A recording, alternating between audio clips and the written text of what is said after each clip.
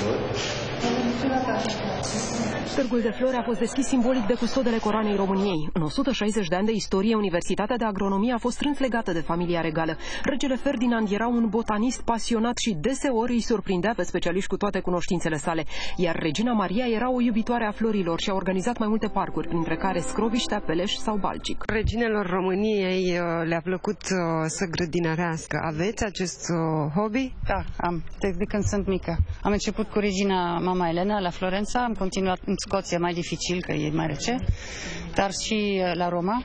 Care sunt florile noastre? Bujori. Multă vreme un simbol al regalității, bujorul e des întâlnit în cultura românească. Floarea cu o mie de nuanțe împrăștie un miros extraordinar și reprezintă pentru parfumieri o inepuizabilă sursă de inspirație. Cinci specii de bujor se regăsesc pe teritoriul României. Înflorește doar o dată pe an, timp de 10 zile, în luna mai. Este extrem, extrem de îndrăgită la nivel național, de unde și comparația frumos ca un bujor sau roșu ca un bujor. Mai mulți horticultori din mediul academic vor să declare bujorul floare națională.